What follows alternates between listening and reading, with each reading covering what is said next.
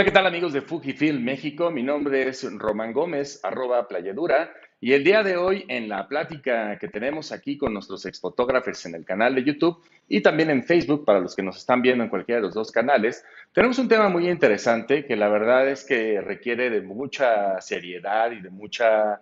Eh, es, es un tema que es muy complejo por todo lo que implica, ¿no? El día de hoy vamos a hablar acerca de la fotografía de bodas y muy, muy específicamente en el tema de retratos, es decir, cómo llevar estas sesiones de novios para que todos aquellos que quieran dedicarse o que ya se dedican a este tema, bueno, pues puedan tener consejos eh, de los mejores, de los expertos, ya que el día de hoy tenemos a dos exfotógrafos mexicanos que son especializados en fotografía de bodas, es Pilar Campos e Israel Redondo, eh, que van a estar con nosotros en un momento más con nosotros para platicar acerca de este tema tan interesante, ya que, bueno, pues una, la fotografía de bodas, la fotografía de encargo de, bodas es, a mi parecer, uno de los temas más eh, importantes eh, que te pueden encargar como fotógrafo, ya que estás, es, eh, tú eres el encargado de, de capturar esas imágenes de, lo, de uno de los días más importantes de estas personas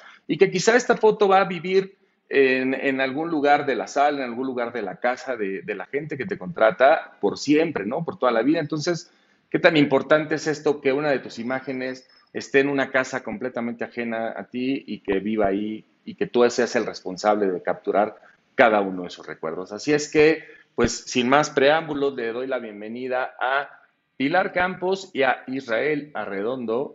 ¿Cómo están, muchachos? Bienvenidos. Hola, hola, buenas noches a todos. ¿Cómo les va? Bien, bien, bien, gracias. Todo bien, eh, todo en orden. Están, este, este, este, es muy internacional este programa porque ninguno de los dos está aquí en la Ciudad de México, ¿no? Isra está en Monterrey y Pili aterrizó el día de hoy. ¿En dónde, Pili? A ver si me escucha Pili. Creo que tiene un problema. Tiene un problemita ahí, pero bueno. Gutiérrez, Chiapas. En Tuxtla Gutiérrez. Muy bien, Pili. Qué bueno que andas por allá. Eh, pues muchachos, eh, bienvenidos a este espacio y pues queremos platicar con ustedes y que nos den sus mejores consejos acerca de la fotografía de boda. Primero, y una de las preguntas que recibimos directamente en las redes sociales de Fujifilm es cómo, cuál sería la mejor manera de iniciarte en el mundo fotográfico de las bodas. Es decir, si alguien quisiera entrar a este mundo que ustedes ya dominan, Luis eh, Favila nos pregunta, ¿cuál sería la mejor manera de iniciarse en este mundo de las bodas? Así es, no sé ustedes cómo se iniciaron y qué es lo que recomienden para aquellos que, quieran iniciar. No sé si quieras empezar tú, Isra. Bien, bueno, pues primeramente que nos guste, ¿no? Que nos guste eh, lo social, que nos guste...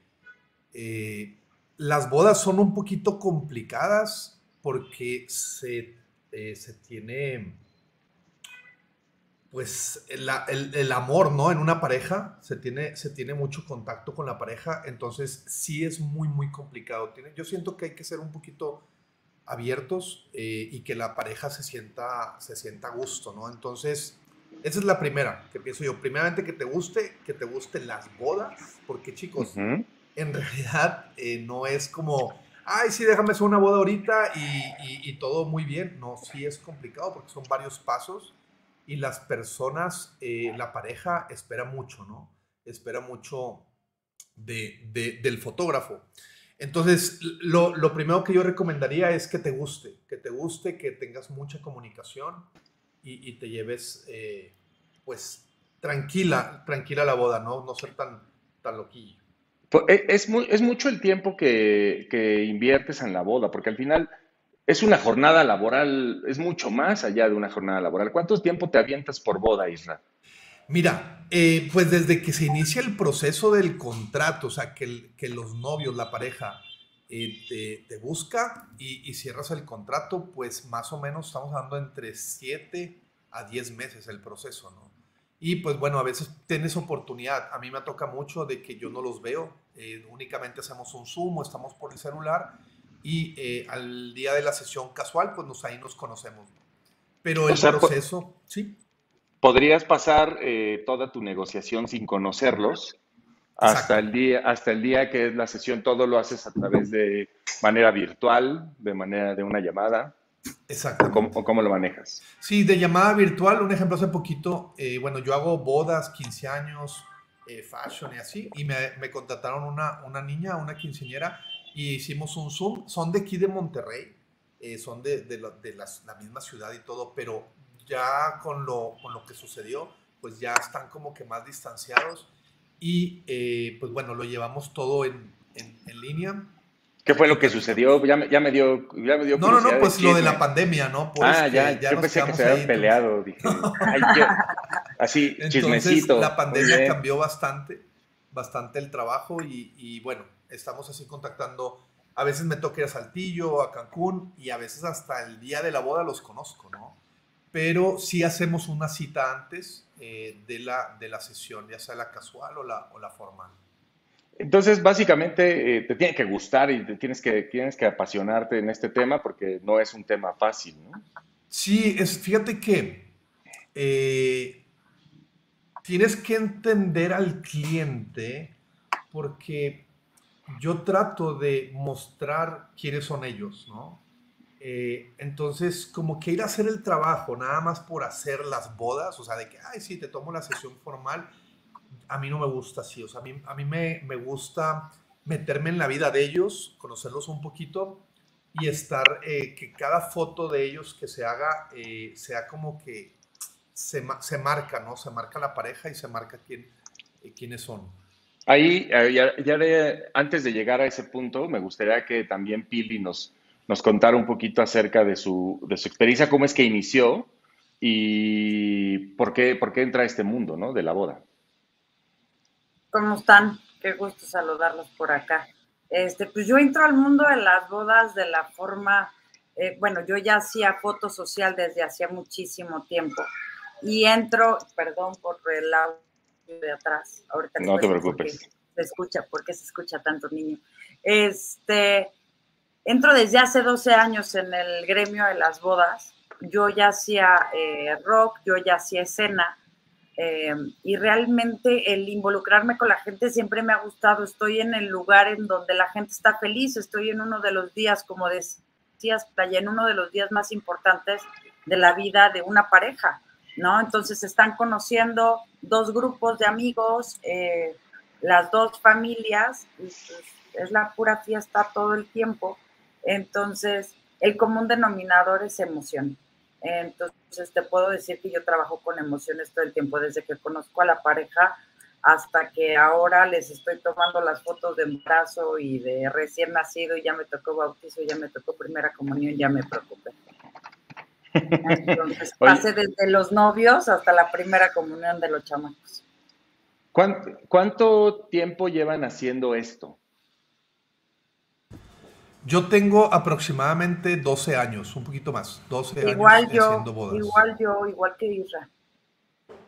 Más o menos, ya a cumplir 13 casi. ¿Cómo fue que consiguieron su primera boda? O sea, ¿cómo alguien, si, si yo quisiera iniciar en este mundo de las bodas, ¿cómo yo buscaría iniciar en esto? ¿Cómo me haría de mi primer cliente? O ustedes ahora con la experiencia que tienen, ¿cómo se harían de su primer cliente en caso de que tuvieran que empezar de cero, por ejemplo? Fíjate que a mí me tocó suerte conocer fotógrafos eh, aquí en Monterrey. Eh, mi esposa es maquillista, entonces nos tocó un evento de novios, eh, una de fotografía para hacer de, vestidos de novia y todo. Y ahí me empecé a relacionar, me empecé a relacionar con ellos. Y llegó un momento que me empezaron a invitar como cámara, como segunda cámara. Y solito, fue poco a poquito donde empecé a, trabajar con, las parejas. ¿Y tú, Pili, cuál es ¿Cómo, cómo fue que empezaste con, con, el tema de las bodas? No te me pares porque si no, te pierdo en cámara. Ahí está, ya está regresando Pili. Pili, ¿tú cómo fue que empezaste con esto? Se casó mi mejor amiga hace 13 años y resulta que terminé siendo el fotógrafo de la boda porque el fotógrafo no, no, no más no la armaba. Ojo, creo que el estilo y la responsabilidad que tiene el fotógrafo de boda, no todos los fotógrafos em, como que le encuentran el feeling, ¿no? Al sentimiento y a la emoción y andar, y andar captando reacciones. Entonces, después de que hago las fotos de Mariana, mi amiga, eh, me empiezan a contactar y me empiezan a decir, oye, que tú hiciste las fotos de Mariana. Pues no, yo realmente, o sea, sí llevaba la cámara y terminé haciendo las fotos, pero pues, no fui el fotógrafo. No, pues las fotos que están en casa de Mariana son las tuyas. Y ahí es en donde me dicen, oye, este, yo quiero que tomes las de mi, las de mi boda, ¿no? Cotízame las fotos para mi boda. Obviamente yo ya tenía un portafolio armado de otro tipo de trabajo, y ahí es como me empiezo yo a involucrar en el, en el mundo de, la foto de boda y, se ha vuelto una cosa deliciosa porque creo que cada pareja tiene su encanto. ¿eh? Es correcto, cada pareja es diferente y es lo más bonito, ¿no? O sea, que, puedas, eh, al momento de dar el clic, que se vean ellos, ¿no? Que se vean que son ellos. Ahorita me surgió una duda y decía Pili, el fotógrafo que tenía contratado en esa ocasión no daba el ancho. ¿En algún momento ustedes han declinado una boda, lo han dicho a un cliente, sabes que no, porque realmente no estoy haciendo match contigo, no estoy haciendo clic? Quizá no le digan eso realmente como de, ah, no estamos congeniando, pero ha habido un momento en el que ustedes decidan no agarrar cuál, eh, esa chamba. Sí. ¿Y por qué lo hacen? ¿Y con base en qué toman esa decisión? Creo que sí tiene que haber un match ganador ya. Creo que sí tiene que haber un match ganador. Estás trabajando con emociones. Eh, el trabajar con emociones no quiere decir que sea granel. Eh, eh, trabajas en, la, en, el, en, uno de los días más importantes de tus clientes, ¿no? Ah, yo a la foto de boda le llamo foto por encargo. Entonces, no es que las fotos me pertenezcan como tal, ¿no? Eh, sino que yo adquiero la responsabilidad del recuerdo de toda una familia. Entonces, si no hay un lazo de confianza y de comunicación desde un inicio, eh, desde la primera cita, yo no sé si a ti te ha pasado, Isra, pero si no hay un lazo de confianza desde la primera cita y, y, y puedes comunicarte, ellos te cuenta cómo se conocieron, dónde se van a casar, este, cuáles son las expectativas que tienen, el estilo de pareja. Si no, si no rompes el hielo desde ahí, siento que eh, no lo vas a romper después. No hay manera, porque estás trabajando con emociones todo el tiempo. Isra, tú que tú... Sí, a mí me pasó una vez con una pareja, eh, ellos vivían en, creo que en Nuevo Laredo, vienen a Monterrey a hacer la sesión, y nos vamos a hacer todo muy bien, o sea, yo la verdad me sentí muy bien con los novios, muy cómodo y todo, pero había un detallito que nos tocó, pues en la zona donde estábamos corría mucho el aire, ¿no? Entonces eh, ahí fue, se mandaron sus fotos y todo, y la chica siempre traía de que, ay, mira, este, en su celular traía fotos, entonces de que, oye, es que puedes hacerme esta de, no me acuerdo, Instagram o Pinterest, ¿no? Y que se veía o sea, tenía referencias. Sí, tenía referencias. Entonces digo, híjole, este, sí, no hay ningún problema. Yo, pues realmente, pues bien respetuoso, les hacía la foto. Entonces, desde ahí ya llega un momento de que, bueno, estás contratando mi cabeza, más bien, ¿no? No estás contratando, pues, que alguien te lo replique. Y al final de todo, eh, bueno, al final la chica dice, no, ¿sabes qué? Sí me gustan las fotos, pero el viento, el, el cabello me estaba llegando por aquí y, la verdad no me gusta y el día de mi boda no quiero que pase eso y empezó a pedirme muchas cosas y le dije, ¿sabes qué mujer? O sea, fue una sesión donde pues puedo controlar yo el viento, se hizo la sesión, pero el día de tu boda, este, tú no te preocupes, nos vamos a preocupar. Entonces, al momento de ya tener un conflicto con la pareja, yo la verdad mejor dije, ¿sabes qué? Eh, me voy a meter en un problema porque la sesión que ella quería no era, no era mi estilo de foto. Yo, si, a mí, si a ti no te gusta, o sea, si me estás contratando es porque te gusta mi estilo de foto, no porque traes una, una, este, una foto de referencia, ¿no? Entonces, claro. no me molesta hacerlo. Claro que ellos pagan un servicio y nosotros lo hacemos. Pero lo que pasa es que a veces te contratan, por ejemplo, a Pili la contratan porque, no, que sí, y su estilo de foto le gusta al cliente. Igual a mí, ¿no? O sea, eso es lo que fue. Y yo lo único que le dije, mira, no hay ningún problema, eh, fue 20 días, 20 días antes de la boda. Eh, le dije, no te preocupes. A ella le urgía venía a hacer la sesión casual. este, le dije, no te preocupes, aquí está tu dinero íntegro y todo. Y la verdad, no, pero ¿cómo vas a hacer eso? Es que sí me gusta tu trabajo. Discúlpame, pero yo no me voy a sentir cómodo. Y un fotógrafo que no se siente cómodo es, empiezas a sufrir toda la boda. Y sí la sufres. Este. O sea, realmente a mí me gusta trabajar tranquilo, ¿no? Ok. Y aquí yo tengo una duda, hablabas acerca de las condiciones del clima. ¿Qué tan importante es hacer algún contrato con los novios para decir, mi, mi yo llego hasta aquí, o, si lo hacen, no lo hacen, o todo es de palabra? ¿Qué pasa si en algún momento alguna de las novias o del novio no están eh, contentos con su, con su trabajo? ¿Cómo, se amparan ante esto? ¿Qué es lo importante? ¿O, de entrada, o es así como pues, de buena Sí manejo una cláusula donde dice que el cliente acepta mi estilo, mi estilo de trabajo. Eh, normalmente cuando el cliente te contrata eh, es porque te le gusta tu trabajo, ¿no? Entonces, eh, yo nunca he tenido problemas de decirme, ¿sabes qué? No me gustó la boda, no me gustó el trabajo, ¿no? si hay detallitos de que, oye, ¿sabes que Te encargo que no seas malito, eh, a la otra me tomes un poquito más así. Esas cosas, pues son cosas normales. A la, otra, a la otra, boda. no, no, no. a la sesión casual. Este, entonces, en la sesión casual es donde se, se maneja. Se maneja mucho eh, conocerlos y todo. Pero eh, no, realmente yo tengo que ellos aceptan el estilo de trabajo y, y listo, ¿no? Ellos firman un contrato y sin problema. Tú, Pili, ¿tienes alguna especie de contrato o de cláusulas o algo que manejes con este tema?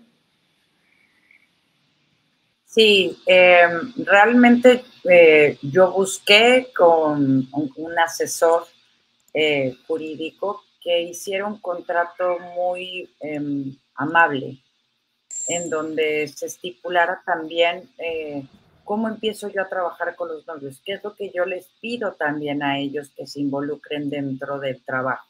Que, esto, que, tomen en cuenta que esto es un trabajo en equipo, que de ellos también depende que, las fotos fluyan y que lo que le acaba, lo que acaba de contar Isra, que también yo no puedo disponer del clima ¿no? Ni las condiciones del lugar en que, contrataron ellos para la boda, eh, para, que, para que todo salga perfecto como salía en la foto, ¿no? Que quizá en la foto publicitaria del lugar en donde alquilaron, pues, obviamente estaba destinado solamente a hacer esa foto con una modelo, con una, con una luz, eh, completamente planeado y atrás no iba a pasar un mesero. ¿No? Entonces, em, realmente hay que explicarle al cliente que, que es una foto vivencial, que es documental, que es secuencial, que puede suceder que sí, pase el mesero exactamente cuando sucedió el beso. Entonces, también eso se tiene que estipular bajo un contrato que si hay que hacer una postproducción dentro de, dentro de este material, hay un tiempo de entrega, ¿no? Y que habrá situaciones en las cuales estén fuera de nuestro alcance. Ok. Eh, estamos, eh, vamos a estar viendo ahí imágenes que hicieron el favor de compartirnos. Y eh, aprovecho también este, esta pequeña pausa para a la gente que nos está viendo a través de YouTube y de Facebook que nos mande sus preguntas. Ya tenemos aquí varios comentarios. Nos están mandando saludos, por ejemplo, desde Uruguay. Saludos a todos, a Flo, eh, a Fer. Ahorita vamos hacia las preguntas. Sigan mandando preguntas para que tanto Pile como Isra nos den sus mejores consejos y nos, nos puedan ayudar a despejar todo, todo este, todas las dudas que tengan y pues, mejorar, obviamente, cada uno de ustedes sus estilos de fotografía. Ahora, el equipo. ¿Qué equipo llevan a una boda y cómo deciden qué equipo llevar y cómo, qué, cuál es su lente favorito, su cámara, cuántas tarjetas llevan, tiran en RAW, tiran en JPG, tiran en alguna simulación de película de, Fuji. ¿Cuál es, el, ¿Cuál es, ya que están en ese tema, cuál es el que, llevan ustedes? Isram. Ah, perfecto. Eh, bien. Eh, yo manejo tres cámaras. Bueno, tengo varias. Soy todas son Fuji. Eh, una es la X Pro 3, X Pro 2, XH1 y para retratos, para la acción casual, eh, manejo la GFX. Bueno, ya dependiendo del cliente si, si, quiere fotos con medio formato. ¿no? Lente preferido, para mí, por ahora, para la GFX es el 63 milímetros, porque no he probado el 110, ¿no? Está el 110 eh, 2.0 y ya ser una chulada, pero no he tenido eh, para probarlo en, medio, en, medio formato. En lo que es eh, serie X, a mí me encanta mucho el 23 milímetros, el 1.4 y el 56 milímetros. Esos dos, un ejemplo para retrato con la X Pro 3, aquí la tengo yo, la X Pro 3 con esta le pones el 56 milímetros y si te hace unos retratitos preciosos. O sea, la... Me encanta. Ahorita esta lo utilizo para... Trae un 18 milímetros y para uso diario. Es increíble el 18 milímetros 2.0. Es una chulada de lente. Este. ¿Qué más? Bueno, realmente en la boda, en las sesiones hago X Pro 3 y la GFX, ¿no? En lo que es ya el evento en sí, eh, manejo únicamente X Pro 2 y X Pro 3. Me las, así como la ves, así las traigo y traigo un flash pequeñito. TT es un eh, Godox, aquí está. Es un flashecito así pequeño. Aquí está. Que eh, queda en el tamaño de la cámara, ¿no? O sea, está pequeñito. Y, para rellenar ahí algo que necesites muy, muy suavecito, ¿no? Normalmente el, 80% de mis fotos no tienen flash. Ok, todo es luz ambiente. Todo es luz natural, sí. Supongo que también ahí también tiene que ver la elección de tus lentes y de la cámara que estás utilizando. Sí, normalmente traigo puro 1.4 eh, y, este, y esos un poquito altos. Sí, sí manejo eso. ¿Cuál es el ISO más alto que has llegado a llevar? 12.800 y sin problema. ¿En la serie X o GFX? En la serie X. Sí, en la GFX es lo mismo, realmente se comportan muy bien. Eh, lo único que tienes que hacer para los chicos que utilizan eh, la serie X, únicamente eh, tirar un poquito sobreexpuesto. Normalmente siempre tiramos subexpuesto al momento de, tomar ISOs altos, ¿no? O de que no, que recupero y que el... Bueno, yo lo que hago es tiro normalmente ISO sobreexpuesta la foto para que al momento que le metes producción, lo bajas y no tienes ningún, ningún problemita, ¿no? Entonces tú recomiendas sobreexponer. Sobreexponer cuando estás trabajando con ISOs altos, ojo, con ISOs altos. La serie, bueno, las jefe, la que es cámaras Fuji, en verdad eh, hay fotos que no tienes que meterle Lightroom o Capture One, es el que uso yo. A mí me encanta el JPG, estoy trabajando con el, el Classic Negative qué chulada de... De, simulación. De simulación. Y yo estoy encantado, la verdad. Eh, no entrego, o sea, tomo en JPG y RAW. Eh, manejo siempre con respaldo. RAW y JPG en la misma cam o sea, en las mismas tarjetas, están haciendo backup. Pero eh, sí, o sea, me quedo con los JPGs porque yo tiro en blanco y negro. Ok, pero como ahorita estoy trabajando con mucho Classic Neck, me, encanta y realmente he tomado pura, ahorita lo que he hecho, puro, puro color. Ahorita vamos al tema del blanco y negro porque me parece que es algo muy interesante en cuanto a tu técnica y en cuanto a tu dinámica de trabajo. Pero también ahorita para que Pili nos cuente cuál es tu combo ganador, Pili, para ir a, para ir a hacer bodas. O retratos, tu sesión de retratos, sobre cuál es tu, Híjole, es que Yo estoy, mira, ella se llama Chiqui y la grande se llama Cuca. ¿Sale? A la, grande le puse cuca.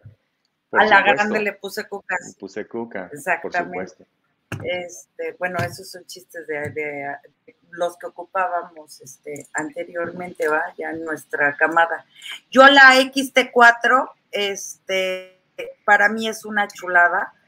Eh, siempre traigo las dos. Eh, por lo regular traigo eh, montado un, un 35, un 18 me gusta utilizar un macro, entonces monto un 80 eh, y, ando, y ando haciendo unas chuladas. Eh, siempre traigo dos cuerpos de cámara con dos lentes diferentes. A, Cuca le monto el battery eh, me siento muy cómoda. Yo cargo siempre las cámaras con este, correa en los lados. Eh, yo no sé cómo te acomodas tú, Irra, pero em, yo siento que, ya es mucho eh, menos la carga en el cuello cuando son 8, 10, 12 horas cargar una cámara este, con la correa en medio. a mí me ha sido mucho más sencillo eh, mis correas. Obviamente sí les sugiero que tomen en cuenta la onda de eh, tener suficientes memorias y no atascar sus memorias y confiarse de que nada más traen dos para trabajar cuando son 10, 12 horas de trabajo. ¿Con, cuántas memorias Yo también trabajo se sienten tranquilos de, de llevar una boda o una sesión? Yo normalmente traigo de backup una tarjeta de 128 GB en cada oh. cámara y pongo de 64 GB enfrente, ¿no? Entonces termina, yo ya sé que tengo, puedo utilizar dos de 64 y con una sola tarjeta estoy haciendo el respaldo, ¿no? Entonces utilizo, sí, son dos, cuatro, son seis tarjetas normalmente en una boda. ¿Tu Pili?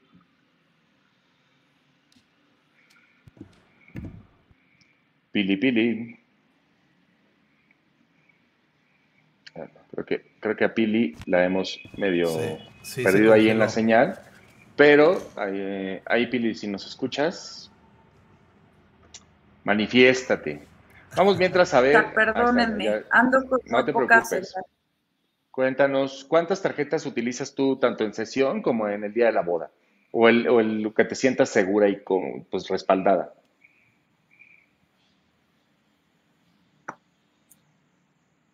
como las... Bueno, se nos fue Pili y vamos a aprovechar tantito, mientras tanto, para ver algunos de los comentarios que, tenemos por acá. Eh, Guillermo Jackson nos manda corazoncitos. Un saludo al señor Jackson, donde quiera. Eh, mira, se quiere volver a casar de la plática que estamos teniendo. Ya le dieron ganas de volverse a casar al señor Jackson, así que, pues en cuanto se decida pues aquí hay dos grandes que pueden hacerle la boda, ¿no? Vamos juntos eh, a pelar.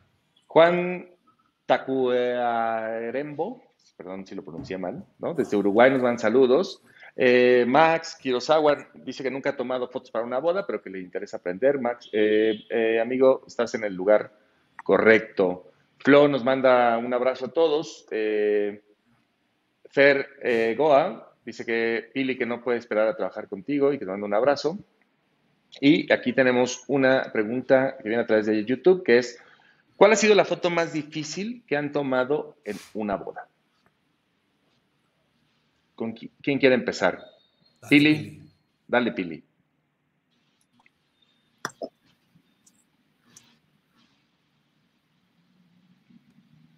Creo que está. Creo que está. Eh, Irra, entra, entra aquí. Dale, dale. Entonces, bueno, la, la foto complicada, más complicada, fíjate que no he tenido, pero las, yo no sé qué problema tengo, o sea, tengo un, trauma, no sé el por qué, la recepción, o sea, el momento del vals, para mí es el, estrés a, a tope, ¿no? O sea, es puro estrés. No, el no sé el por qué, fíjate. Yo la sesión casual, la sesión formal, no tengo ningún problema. Pero la iglesia, pero me pones el vals y ahí es donde empiezo, porque estoy buscando el clic, como que el clic perfecto, que se vea la iluminación lo más bonita posible, que los novios se vean lo mejor acomodados. Tú sabes que al momento de estar en el vals se empiezan a, a, dar vueltas y con la cauda eh, se, se, pues se amarran y, y, tienen problemas con eso, ¿no? Entonces, como que siempre eso es mi, como mi, lo más, no difícil, pero como que es la, la zona más complicada para mí.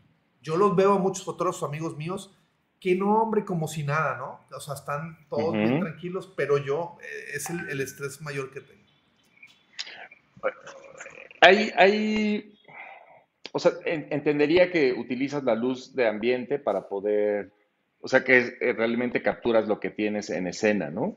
Y también cuando vas a alguna sesión, cuando haces la sesión de novios, ¿cómo defines qué tipo de iluminación utilizar? ¿Ellos te dan alguna referencia, como decir hace mm. rato de, ¿sabes qué? Quiero esto o de plano ya te dejan a ti completamente que, que trabajes sobre el concepto? ¿Cómo trabajas el concepto? Ellos escogen el lugar tú ya tienes tus lugares como predefinidos de decir, ah, aquí tengo estos 10 spots que básicamente me los voy campechaneando a lo largo del año. ¿Cómo defines este lugar, esta sesión de, para los novios? Normalmente cuando llega una pareja eh, conmigo es porque vi esta foto o, eran... Eh, uy, uy, uy, perdón. No te apures, todo. Eh, vienen este, conmigo, es que le tomaste foto a tal persona me encantaría que, que, tú me las tomas. Y a veces me dicen, oye, ¿puede ser el mismo lugar? Y les digo, híjole, no, no se puede, ¿no? No se puede hacer el mismo lugar. Es un poquito complicado, Monterrey realmente es pequeño, o sea, pequeño en cuestión de lugar donde se pueden hacer las fotos que bosques y todas esas cosas, eh, pero no utilizo luz, eh, o sea, flash y esas cosas para las sesiones, no, es todo luz natural. Yo es más o todo luz programo, yo lo que recomiendo a, los fotógrafos que están iniciando es que tengas eh, un tiempo para darle un ejemplo. Vas al lugar y veas la mejor hora para hacer foto, ¿no? Un ejemplo a las 3, 4 de la tarde, 5 de la tarde. ¿Por qué? Porque si te vas a las 2 de la tarde, el sol va a estar cenital, lo vas a tener aquí y lo que vas a hacer es perder tiempo nada más en que, uy, es que el sol está bien feo y es que la luz está muy fea y vas a querer empezar a meter flash. Entonces, no, tranquilo, llegas dos horas antes de que eh, baje el sol completamente y vas haces tus primeras fotitos donde estás calentando con ellos, que empiezas a conocerlos y ya a la mera hora bonita para hacer la foto, queda todo perfecto. Entonces, Flash es muy raro, es muy raro, o sea, tendría que ser eh, alguna producción o algo que tendríamos que para meter eh, iluminación. Ahorita en las imágenes que estamos viendo en pantalla, que si la, gente que nos está acompañando pueden ver cómo eh, hay luces natural, o sea, la luz es como dice Israel, luz natural, pero muchos de ellos están, eh, por ejemplo, en sombras, o sea, ellos realmente no les está dando la luz directo, sino que busca, y aquí corrígeme Israel si, si, si, si estoy diciendo algo erróneo, pero buscas a lo mejor quizá ponerlos en algo que aunque haya luz de ambiente, si ellos siempre estén con una luz muy pareja tanto en rostros como en todo sí, claro, para evitar claro, claro. Porque luego se les hace el famoso ojo mapache, ¿no? El de la, el mapachito que se ve todo negro y eso no se lo quitas. Entonces, eh, también hay, hay, momentos que dices, bueno, esta, esta sesión la voy a hacer con luz dura. Entonces empiezas a programar dependiendo la idea que yo traiga con la pareja eh, no sé, vámonos a las 2 de la tarde al centro de Monterrey, ¿no? Entonces estamos buscando pura luz dura que le dé y que sean sombras muy fuertes, ¿no? Entonces, eh, es dependiendo la pareja también. ¿Qué te da la pareja? Eh? Es muy importante al momento de hacer la sesión hasta dónde ellos llegan contigo también. eso es algo que en, la, en la sesión casual lo practico mucho. ¿Y cómo te das cuenta de eso? ¿Hablando con ellos? Sí, sí, vas abriendo tu... Mira, yo, te, yo mido un 84. Entonces, cuando llego yo con la pareja, primeramente dicen, bueno, esto es una, una, una, una persona grande, ¿no? Y desde ahí se hace, o sea, el novio normalmente como que ponen una barrerita, ¿no? Y luego empiezo poco a poquito a acercarme, por eso uso lentes muy abiertos, o sea, muy abiertos para estar muy, muy pegados a ellos, ¿no? Entonces, eh, al momento yo estarme acercando cada vez más, más, más, llega un momento que eh, agarro al, novio de, la espalda y amigo, ¿cómo estás? Y entonces ya empiezo a meterme a su, a su círculo, ¿no? Y ahí, oye, eh, ¿te puedes sentar? No, hombre, sí, no hay ningún problema. Ah, perfecto. Entonces ahí solitos te empiezan a dar todo, todo ellos, ¿no? Que también se sientan cómodos los novios. Si usas lentes telefoto, que estás a un 200 milímetros, oye, a 10 metros, ¿no? Abrácense y pues no hay contacto, o sea, necesitas tener mucho contacto con la pareja, más que todo en las bodas, porque eso les va a dar a ellos tranquilidad. Al final es transmitir esa confianza, ¿no? O sea, lograr ganarte su confianza para que se suelten, ¿no? Y que digan, oye, ahora quiero intentar esto. A mí hay unas fotos que, de, las que, de las que han estado pasando en donde por ejemplo, no se ven ellos tal cual, se ven unas siluetas al fondo y a lo mejor lo que está enfocado es como un primer plano de otro objeto y ellos nada más ahí medio se distinguen. Que este, este tipo de fotos que son muy bonitas a la vista, pero quizá ellos podría ser cualquier pareja de novios, ¿no? ¿Cómo, cómo, cómo, colocas eso como un producto para que la gente lo entienda? ¿O ya, o ya saben que eso es lo que buscas? Eh, sí, normalmente estas fotos que estás viendo ahorita eh, son las que eh, puedes ver en muchas redes sociales mías, ¿no? Entonces, la persona ya sabe que hago ese tipo de fotos. Yo lo que trato de hacer, que es un consejo de un fotógrafo, es que él empezó primero, un ejemplo, 90 para el cliente y 10% para el fotógrafo, o sea, lo que quiera hacer el fotógrafo. Después fui cambiando poco a poco hasta llegar a más o menos un 80% mío y un 20% para el cliente. Entonces, ¿qué es que yo antes, un ejemplo, que eh, antes de entrar a la iglesia, yo hablo con la novia, oye, voy a, voy a entrar de esta forma, voy a atravesarme un poquito, no hay ningún, no, haz lo que tú quieras. Entonces, cuando te dicen, haz lo que tú quieras, es lo mejor es lo mejor que me pueden dar un mensaje a mí cuando estoy iniciando una boda, porque tienes toda la facilidad y toda la tranquilidad de hacer la, de hacer la sesión o la, la boda completa. Entonces, esas fotos se les entrega al cliente, pero también está la foto, o sea, detrás de eso hay fotos de retratos. A lo mejor tú ves, mira, como esa de ahí que está. Como esta, ¿no? O sea, Ajá. Esa, esa foto, pues ellos, pues tú ves el paisaje, se ven chiquitos, se ve, pero eh, al cliente se mandó a imprimir ese a un tamaño de un metro por unos 50, algo así, ¿no?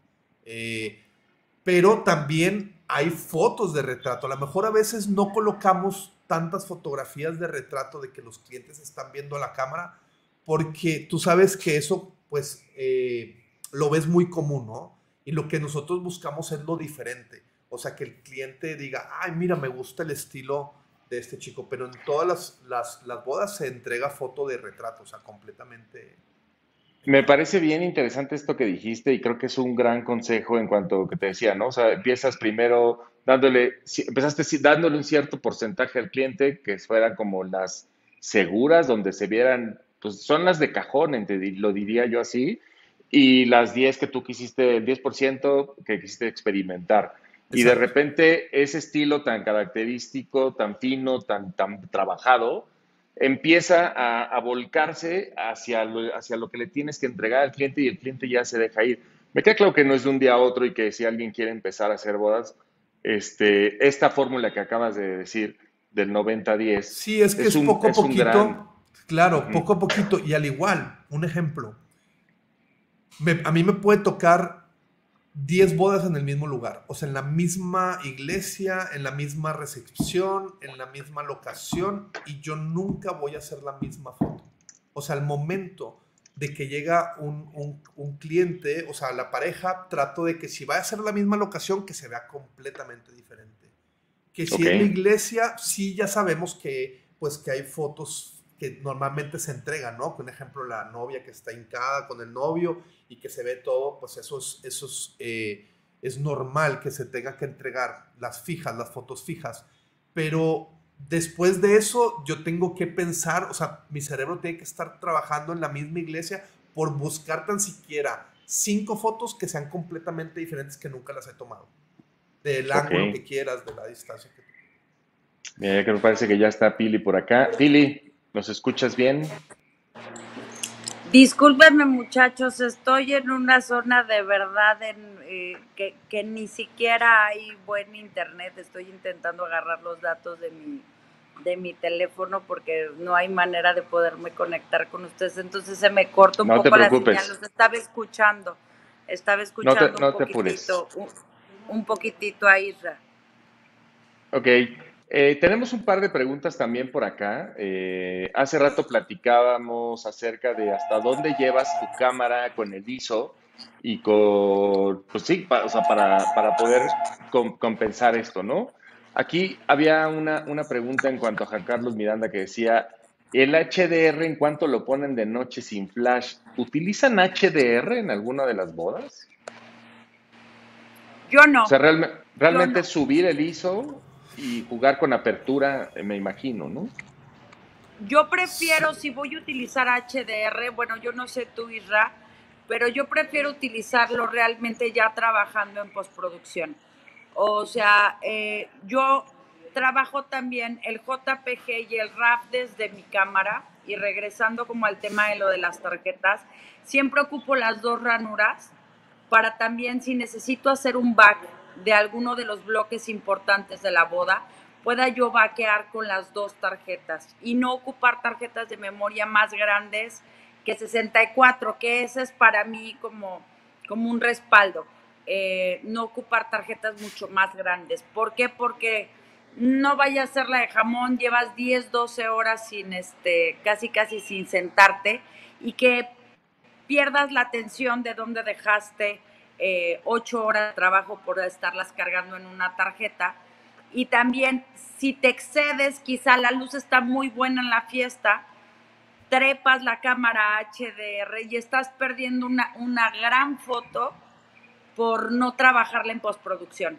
Yo prefiero trabajarla en postproducción que reventar el ISO desde, desde la cámara. No sé, no sé a ti qué te pasa, Ita. No, yo no uso HDR y solamente es así. Este, no, no, ah, y aquí, hablando del tema de postproducción, y quisiera tocar un tema muy particular, es, Isra, mencionabas hace ratito que trabajas sobre blanco y negro.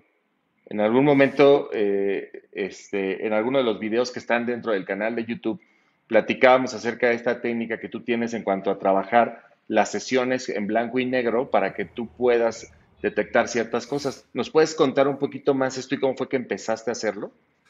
Sí, eh, bueno, como siempre, ¿no? Estar eh, creciendo. Fui una vez a un workshop de, un fotógrafo muy, muy conocido en México, un gran fotógrafo, que es Fer Juaristi y Fer tenía ese sistema que él trabajaba en blanco y negro. Y me dijo, inténtalo, Isra, hazlo, inténtalo, inténtalo, ¿no? Y al principio sí es como que un poco complicado porque terminas la sesión y a veces, uy, como que un poquito agüitado, pero al momento, porque todo es blanco y negro, no hay color, no hay nada, entonces como que te da para abajo. Pero ahí voy a hacer una pausa, Isra. ¿Por qué es el blanco y negro? O sea, para la gente que no sepa, eh, ¿cómo, es esto? Pues bueno, realmente la, en la cámara tú ves en blanco y negro la foto y nosotros lo, yo lo utilizo para quitarme la distracción de los colores. Un ejemplo, normalmente las personas eh, pues utilizan una temperatura, ¿no? Hoy es 6300, 5400, lo que ustedes quieran. O hay gente que utiliza el, el, el auto, ¿no? El, el balance de blancos automático lo usa. ¿Y qué sucede aquí? Que todo el tiempo tienes variación de tonos y luces en automático. La siguiente es que a lo mejor cuando tú estás viendo la foto, eh, la ves de un color y no te gusta el color. En vez de preocuparte por la composición, por la pareja que esté, que se vea bien acomodada, los ojos, eh, si trae lentes, esas, en vez de preocuparte por eso, te preocupas por el color de la foto. Entonces sí es un poco complicado porque tienes cada sesión que tienes que hacer, tienes que revisar completamente tu cámara, que no la tengas en JPG. Porque si tú haces la sesión y no, o sea, no tomas el RAW, aquí no se puede hacer nada. ¿Qué puede pasar? Pues le dices, qué bonita tu sesión, pero es totalmente en blanco y negro, ¿no? Sí se le dice al cliente al momento está haciendo las fotos. Un ejemplo, yo tengo la costumbre de no mostrar eh, mis fotos al momento de la sesión ¿ok? ¿Por qué? Ese es un tip también, ¿no? Al momento que tú ves, tú estás haciendo la foto, puede ser que sin querer le mostraste a lo mejor que se ve un detalle de la parte de la novia, algo que a la novia no le parezca. Y va a estar toda la sesión con una cara de que algo no está bien. Entonces yo prefiero es, hago mi sesión completita, bam, bam, bam, y te le digo al cliente, en la noche subo cinco fotos y publico cinco fotos de ellos lo, e, esa misma noche, ¿no? Pero nunca muestro las fotos en cámara porque como es un tamaño tan pequeñito donde lo pueden ver ellos, no ven los detalles, ¿no? Entonces, y el blanco y negro es lo mismo, que es que al momento de que tú estás viendo la pantalla, eh, como esto es el, el mirrorless, que estás viendo cómo desde un principio va a quedar la foto, pues todo lo ves en blanco y negro, entonces no te molesta el color, no te molesta absolutamente nada y te preocupas más por la composición. Es, es, un gran tip. Y el 70% de mis fotos son blanco y negro, ¿eh? Mucho de mis bodas las entrego, muchas, muchas, muchas, muchas fotos en blanco y negro. Ese es un gran tip. Mira, tenemos por acá otra pregunta de, de Juan Tacuarembo, que decía, eh, cuando empezaron a hacer bodas, ¿lo empezaron a hacer con lente fijo o empezaron con algún sub? ¿Cómo fue que empezaste? ¿Con qué, con qué ópticas empezaste? Eh, yo entré con óptica, fue un 2405, porque era otra marca, era otra marca.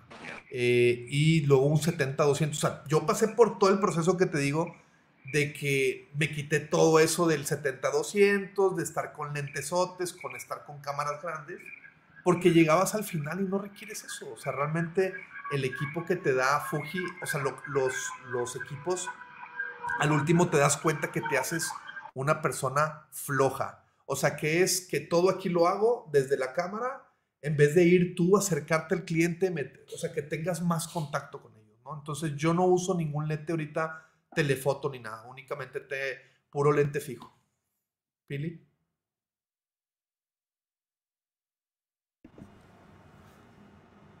No te escuchas, Playa. Eso, perdóname, ahí está. Ya llevo mucho eh, hablando. Eh, lo que yo decía es que el lente fijo lo que te ayuda, según yo, es a salirte de tu zona de confort y a, obligarte a moverte, ¿no? Hacia atrás, hacia adelante, acercarte, a tener ese contacto que si quieres cierto ángulo, te tienes que mover completamente. Exacto. Y te, y te, y dejas de ser flojo, porque el zoom, ¿no? Es este, te puede ayudar mucho en algunos temas de, de ser un poco más versátil, quizá no cargar más lentes, sobre todo, por ejemplo, el lente kit que hemos platicado mucho de, del lente kit de Fujifilm, que es realmente pues, un todoterreno, ¿no? Para todo tipo de foto. Eh, pero siempre los lentes fijos, estas distancias fijas, te ayudan a que creativamente hablando puedas tener otro tipo de experiencia, ¿no? Y, un ejemplo, en, en, una sesión, bueno, más bien en una recepción, yo utilizo un 16 milímetros, 1.4, y estás aquí con ellos, pip, pip, pip, y estás disparando y, te, y, tienes, eh, tienes un rango. ¿no? Ajá, y haces mucho contacto con, con, los, con los mismos de la fiesta, ¿no? Entonces, si andas con un lente, un 70 o un 85 milímetros, pues vas a estar afuera de la pista, ¿no? Entonces, lo padre es meterte a la, a la fiesta, o sea, meterte y sacar detalles bonitos, ¿no? Y en cuestión de calidad también, pues los fijos te dan como un... Tienen ahí cierto... Su boquecito precioso. Muy, muy bonito, que te ayuda a que se vea realmente eh, eh, precioso. Y te iba a preguntar cuáles son los tips que le darías a alguien, ¿no? O sea, como tus tres consejos básicos, pero ya nos has dado muchos tips. Entonces, si tú tienes alguno más que quieras como agregar, este es el momento. Y si la gente tiene preguntas, este es el momento antes de, ir cerrando. Entonces, no sé si alguno de lo que ya, de, además de lo que ya nos has compartido, ¿Tienes algún otro tip que digas? Sí, claro, no, hombre, hay este. muchos tips, ¿no? Hay muchos, muchos, muchos tips.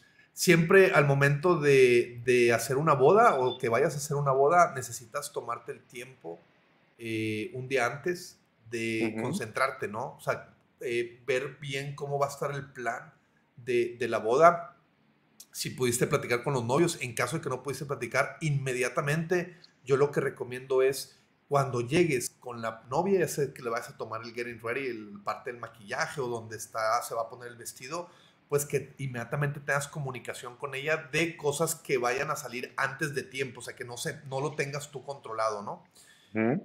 Otra cosa muy importante es creer en uno mismo, ¿no? O sea, eh, al momento de que tú estás haciendo una sesión, eh, procuren siempre tener unas, o sea, yo recomiendo que tengan por lo menos unas cinco poses, cinco poses que a ustedes nunca les pueda fallar en una sesión, ¿no?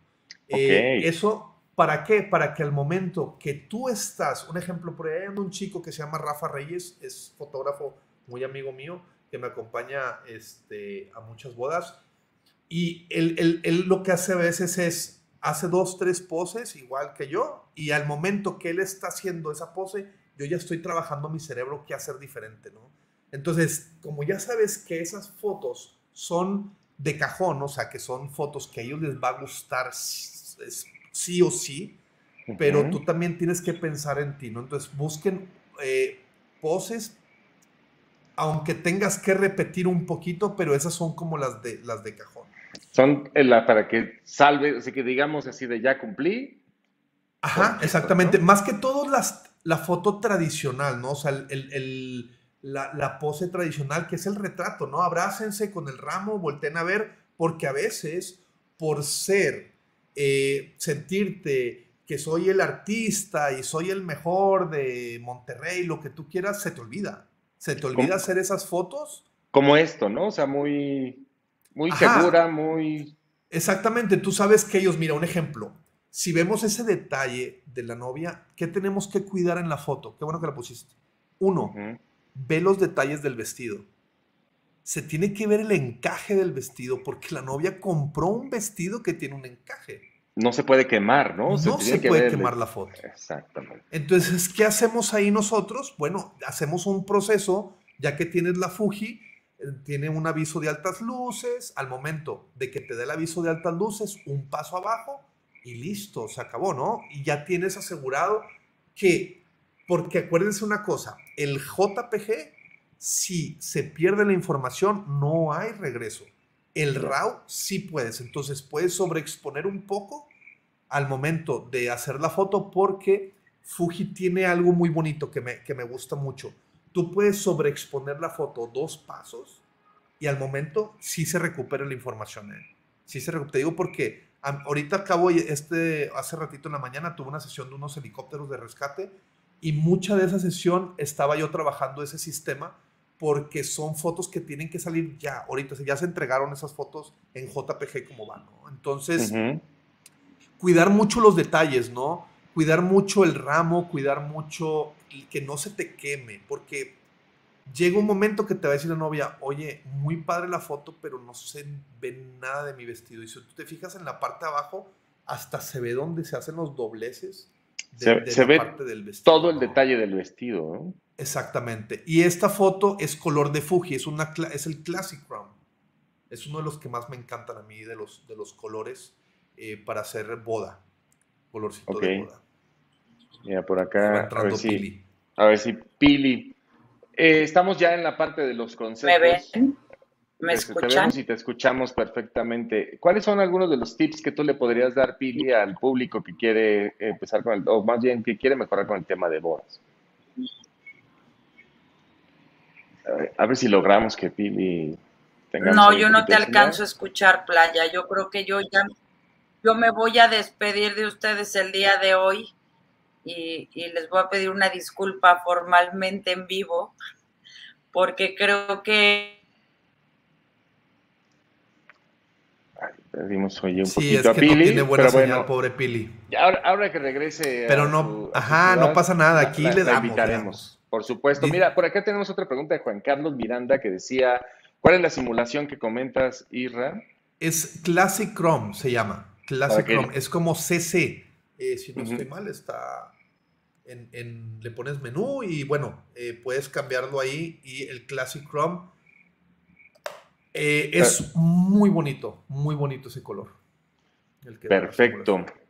Pues, eh, pues ya estamos hacia, eh, pues cerrando un poquito la, sesión del día de hoy, ¿no? La plática, que podemos seguirnos hablando de foto, pero... Sí, y disfruten, disfruten su trabajo, chicos y chicas, ¿no? Disfruten lo que hacen, háganlo con el corazón.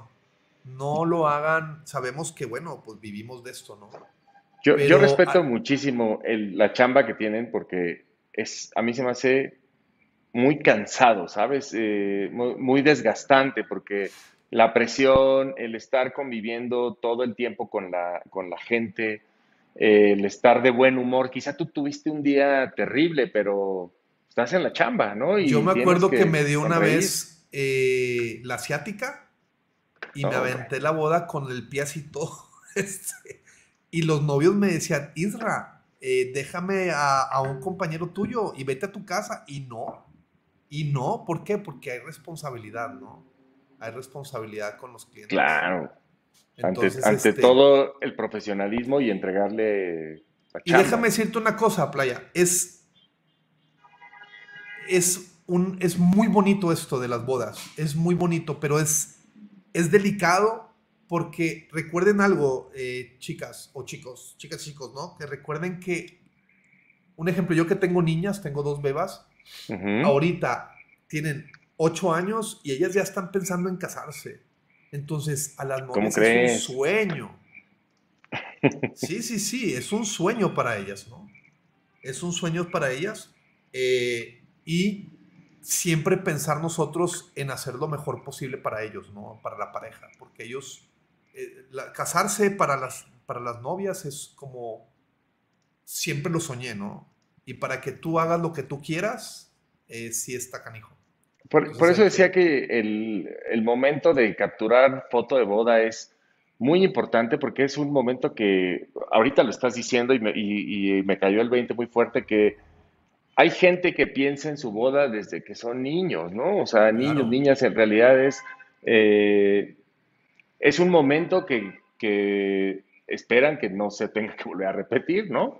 Pero que, pero que es, es el momento único y, yo les decía al principio, quizá una de sus fotos va a estar eh, puesta en la sala de esa persona, eh, que va a ser una de sus cartas de presentación cuando llegue la gente a su casa y que sea una de tus fotos, me parece que es una responsabilidad eh, enorme, muy, muy, muy, muy grande, ¿no?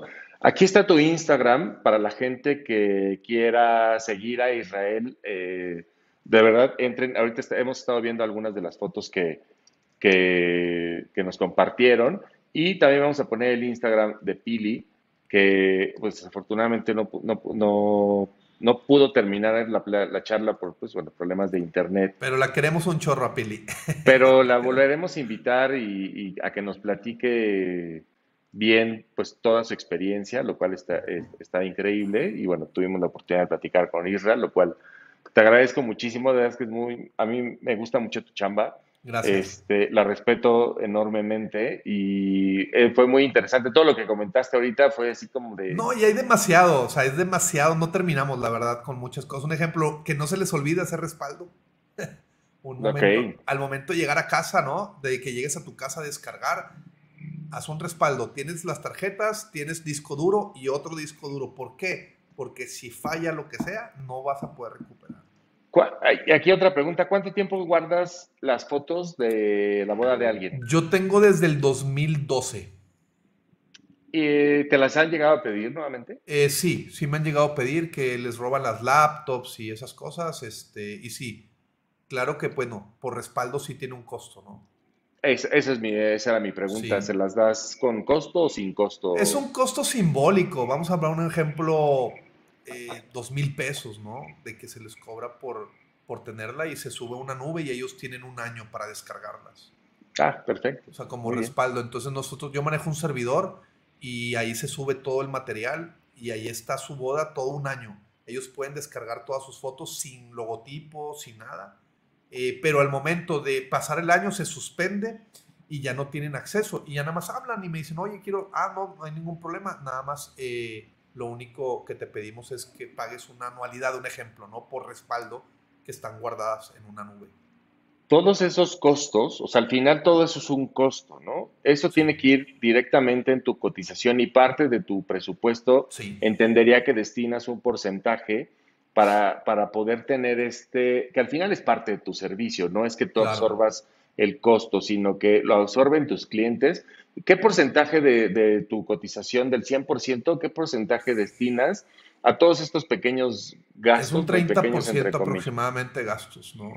Ok, perfecto. Porque tiene que ver con lo que es el equipo, servidor, eh, servidor, discos duros, como quieras, aunque esté en un servidor, yo lo tengo físico aquí. O sea, porque se acaba el servidor, llega a pasar algo con el servidor, aunque ellos dicen que tienen miles de respaldos, pero yo tengo que asegurarme aquí, ¿no? Que, que tengo el, el material.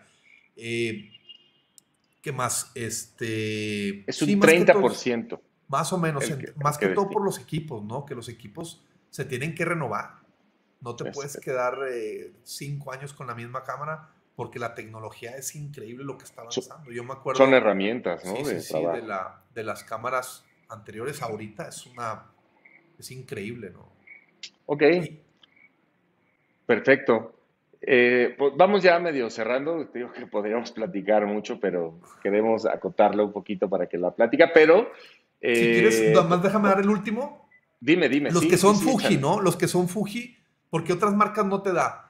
Eh, hay un modo, chicos, que se llama prioridad de apertura en las cámaras normales. Y bueno, yo les recomiendo a los que hacen bodas que si pueden trabajar con este sistema, les va a ayudar bastante para trabajar en vez de estar pensando qué ISO voy a poner, qué temperatura voy a poner, eh, qué velocidad, este, y les va a ayudar bastante a despreocuparse de eso.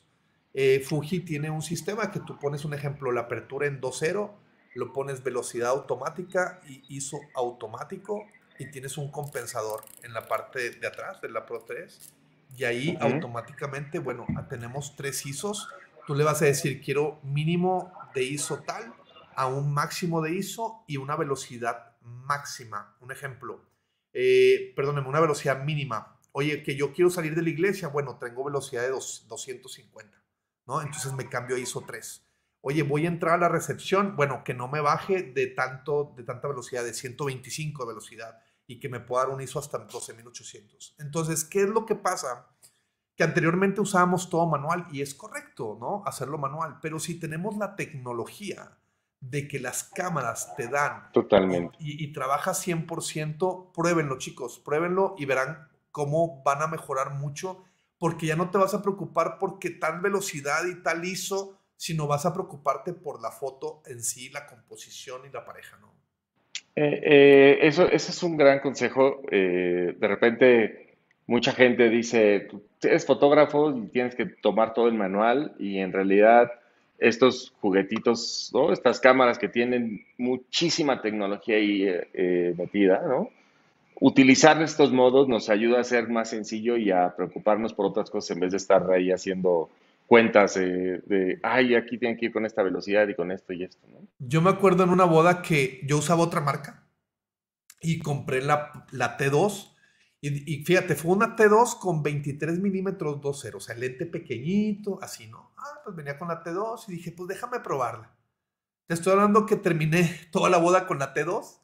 Este, yo usaba otras cámaras, otras más pesadas, con flashes enormes y, lentes bien pesados. Y al último dije, ¿sabes qué? Vendo todo, vendí todas las otras marcas y me compré todo Fuji. Entonces ya tengo, pues ya voy a cumplir creo que los seis años con Fuji por acá Jorge Obando nos, nos comenta en Facebook, ¿no? Que está a punto de aventarse a comprar su primera Fuji, ya hazlo cuanto antes, ¿no? sí, podemos un día si quieres hacer un video de, específico de, de, trabajarla, ¿no? La trabajar la cámara y lo podemos hacer también en vivo, hacer una sesión o algo y explicar un poquito. Eso, eso estaría increíble, creo que podemos retomar el tema, o sea, el tema da para mucho realmente. Ahorita lo que mencionabas acerca de estos modos automáticos, dentro del canal de YouTube en Fuji, de Fujifilm México, eh, existe un video eh, donde Jaime Ávila explica cómo eh, preconfigurar estos modos de prioridad de apertura, prioridad de velocidad, etcétera, para que también cada uno de los que nos están viendo conozcan cómo moverle a Fuji y llevarlo a un, a un nivel un poquito diferente y que, no, y que no lo manejen todo manual, porque está bien, como decía Isra, pero pues también facilítense la vida. Claro, y está bien saberlo, ¿no? Está bien Totalmente. saber que, si subes el ISO, ¿qué pasa? Si cierras aperturas, si la velocidad cambia y todo, ¿qué es lo que sucede? Pero ya lo sabes, tienes las cosas básicas, entonces eh, exprime tu cámara, exprímela toda la que quieras, porque yo te puedo decir, me dices, Irra, ahorita la X Pro 2, la X Pro 2 para mí fue una de las mejores cámaras que he tenido de todo el tiempo que he hecho foto, ¿no? Entonces no la suelto ni loco, no la suelto ni loco y digo yo, es que la cámara me da lo que necesito, ¿no? Eh, en vez de estar con tantas, tantas cosas. Sí, llegas a este punto en donde dices, aquí, está mi estilo, lo, la imagen que yo estoy buscando, la calidad, etcétera, es con este equipo y con este convito y con eso nos vamos ahí directo, ¿no? Y, experimento otras cositas, ¿no? Meter lentes manuales y todo, dime. A que veamos, ¿no? Eh, un poquito, dos fotos. Ah, mira, tenemos una preguntita antes de pasar. Bien, antes de llegar a, lo que te iba a invitar, dice Primo Hernández, ¿dice alguna técnica para disparar a 1.4 sin perder nitidez? Mira, las cámaras Fuji son APS-C. Eh, son cámaras que no son full, full format, ¿no? O sea, formato full frame más bien. De full frame. Entonces, el 1.4, yo tiro un ejemplo, toda la recepción en 1.4. ¿Por qué? Porque tienes la entrada de luz de 1.4. Pero como es un sensor recortado, no te da ese, ese desenfoque o ese bokeh que inmediatamente, ya sabes, en 1.4 tomas pues, en una full frame, es muy fácil que eh, se, desenfoque. Pues, Ahora, Fuji trabaja con eh, fase y contraste el sistema de enfoque. Entonces, ¿qué pasa con eso? Que las otras marcas, eh, unas utilizan únicamente contraste, otras utilizan únicamente la, la, fase. Entonces, ¿qué hace? Que Fuji hace? empata las dos y dicen, aquí está enfocado. Y si Fuji te dice la cámara, es que está enfocado, es que está enfocado. Lo único que tienes que tener también, trabajar un poquito tu mano. Si estás trabajando con velocidades por debajo de 125, pues que tengas control. Un ejemplo, yo he hecho bodas que está muy fea, o sea, muy oscuro y velocidades de 1 sobre 40. Todo un civil en 1 sobre y súper bien. Pero ¿qué es? Que pues necesitas tener mucho control al momento de dar clic, porque nomás le das clic y ya se anda borroso todo, ¿no? Entonces, 1.4, no te preocupes, Únicamente eh, lo que tienes que hacer es eh, trabajar el enfoque y lo bonito de también de las Fuji es que todo, o sea, un ejemplo, otras marcas nada más es el centro, ¿no? El centro de, lentecito es lo más nítido y aquí no. O sea, si te dice Fuji hasta acá arriba está enfocado, es que está enfocado. Sí, ahí, esos, datos son muy interesantes para, para conocerlo. Y lentes, la nitidez, bueno, cada vez vas manejando lentes, ¿no? Un ejemplo, el 23 milímetros 1.4, el, el de Fuji es, es, sí es nítido, pero es que te da un, es un sentimiento la foto que no es completo, no se ve digital, pues. Eso es lo que me gusta de Fuji, que las fotos no se ven digitales y eh, le pones un poquito de grano y bye, ¿no? Pero está enfocada. Entonces, al momento yo, yo la verdad prefiero no tener nitidez, este, que no esté tan totalmente nítida porque se va a ver muy digital. Yo prefiero trabajarlas así a 1.4, el 23.1.4. Ok, perfecto. Perfecto, pues ahí está la pregunta de Primo Hernández. Y antes de terminar, Israel, quiero mostrarte un par de,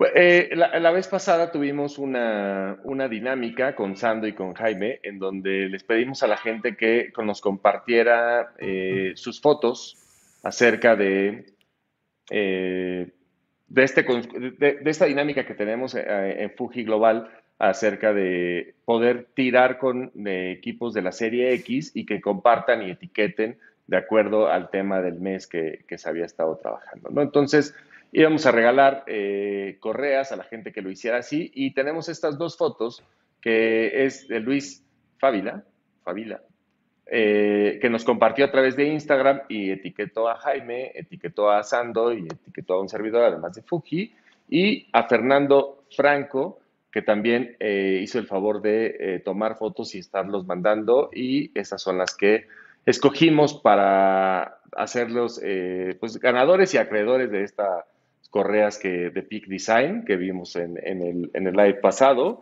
Así es que Luis y Fernando, si me pueden mandar un mensajito a través de Instagram para que me manden su dirección física y poderles hacer llegar hasta su domicilio estas dos correas. Felicidades y pues muchísimas gracias a los que participaron.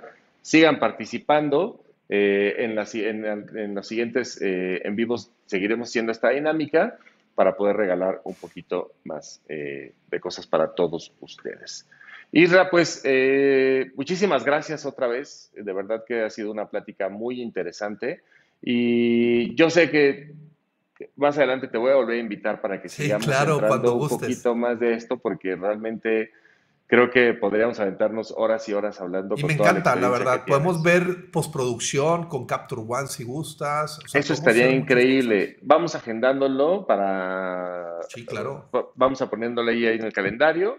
Y porque me parece algo interesante el tema de postproducción y podemos de, postproducción y más que todo que un ejemplo Capture te da el tono, eh, tiene los, los estilos de, Fuji. O sea, no son emulaciones. es sí, es la simulación, la simulación tal cual, ¿no? así es, tal cual. Y qué bonito que tomas la foto y si tú la tomas, la vas a ver completamente igual, ¿no? Es muy bonito eh, trabajar con Capture, la verdad. Perfecto, pues ya lo estaremos ahí agendando y pues muchísimas gracias a todos los que se conectaron, los que mandaron sus, preguntas. Eh, por acá, Luis. Eh, nos manda, perfecto, muchísimas gracias. Felicidades, Luis. Eh, escríbeme por ahí, por Instagram, mándame tu dirección y para hacerte llegar las correas. Irra, eh, te mando un gran abrazo. Es abrazo a todos. platicar contigo y pues, a los que nos están viendo, suscríbanse al canal, denle like. Estamos publicando videos cada semana acerca de técnicas fotográficas, de manejo de equipos y además cada mes estamos haciendo estos en vivos. Pueden mandarnos a través de redes sociales sus preguntas, qué es lo que quieren que platiquemos qué es lo que quieren que revisemos, si quieren que invitemos a alguien en particular a, charlar aquí con ustedes. Y pues nada, muchísimas gracias a todos. Isra, un abrazo y un saludo hasta Monterrey. Y pues muchísimas gracias. Nos vemos en la siguiente aquí en el canal de Nos vemos. Hasta luego. Hasta la próxima.